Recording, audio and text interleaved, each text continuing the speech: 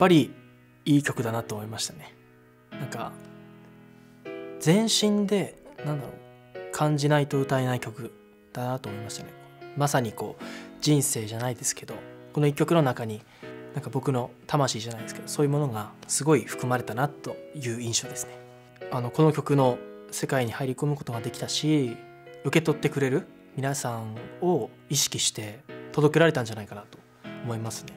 いつもだったら届ける人がいないじゃないですか。なんか家で歌ってる時とかも。今日はこうやって収録という形でこれがあのたくさんの人の元に届くんだなっていうのを考えるとすごい嬉しくてこの曲を選んだらもうなんか僕の伝えたい思いをこの曲が結構具現化してくれてるのでそういうものもあったのでなんかうまく伝わればいいなと思って、はい、だからいつもよりも本当に気持ちが入りました。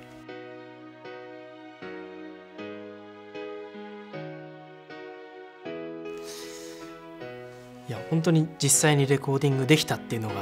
っぱ終始嬉しかったですね。あのこの曲特に僕大好きな曲なんで、まあ、こうしてなんかしっかりレコーディングするって予想してなかったので、まあ、このお話いただいてでそれが今日実際まず叶ってなんかだから終始なんか幸せだなっていう感謝の気持ちとでやっぱ伝え伝えたいメッセージっていうかなんかそういうような思いで溢れてやってました？12月ぐらいですかね。ちょうど今年から一人の立石俊樹として、まあ、進んでいくっていうことになったのでなんかそういうタイミングでもこういうお話が来て いい機会をいただけたなと思って。本当にありがとうございます。まあ違うフィールドで普段あの活躍されてる方々と今回このクロススイングとという場で一緒にできるっていうのは逆にすごい刺激的で僕はそういうなんかこう挑戦していったりとか新しいことにチャレンジするのが好きなんでそこに対してのあまりこう心配というかそういうものはなかったですね。むしろ、まあ、たくさんここでまた吸収して成長していきたいなみたいな感じでした。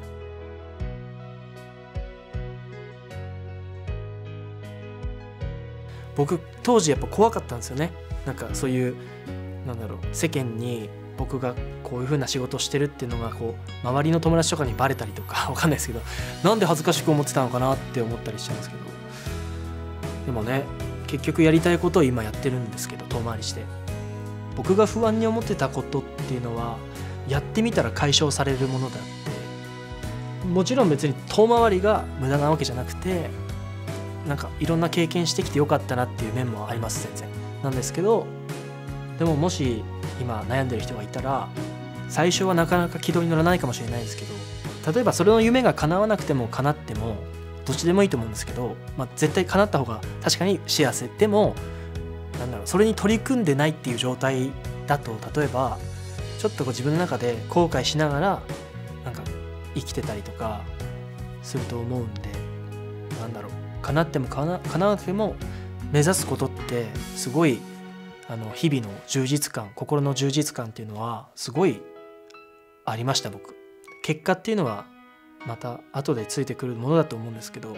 とりあえず目指してる自分目指しその夢に目指してる自分っていうのがあるだけでなんか日々なんかちっちゃい幸せにも気づくしなんかすごいいいことばっかりなんでもしこれやりたいけど悩んでる人はやってほしいなと思いますね。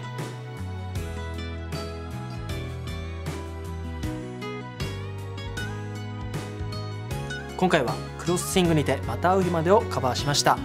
えー、聞いてくれてありがとうございます。また明日からも皆さんが幸せに暮らせますようにという思いを込めて、えー、歌いましたのでぜひこれからも楽しんで聴いてもらえたら嬉しいです。少しでもパワーが届きますように。今回はありがとうございました。また会いましょう。